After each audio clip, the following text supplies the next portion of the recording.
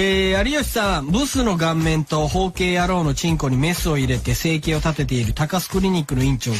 知人と2500万円ずつ出資し合って JRA の馬主になったらしいのですが、馬名登録をめぐってみっともない騒動を巻き起こしてやがりました。どうやら高須は知人にイエス高須、イエスイエス高須、イエス高須イエスのどれかで馬名登録を申請してくれと頼んだらしいのですが、その知人は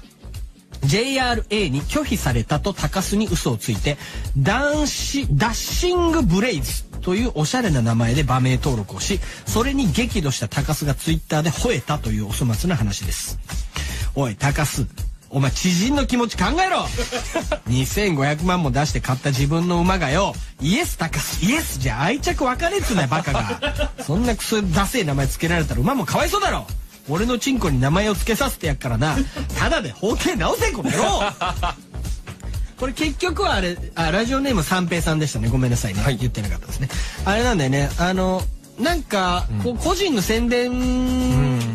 みたいになる名前はダメなんだよね、登録されないんでそれ知ってるからもう一人の人は最初からあの JR に申請してなかったっていう話ですけれども、どうせダメだよっていうことを、はい。まあいいでしょう。えー、有吉さん、ブスの顔面と包茎野郎のチンコにメスを入れて生計を立てている高須クリニックの院長が、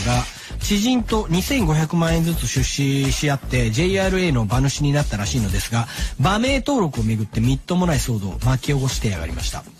どうやら高須は知人にイエス高須、イエスイエス高須、イエス高須イエスのどれかで馬名登録を申請してくれと頼んだらしいのですが、その知人は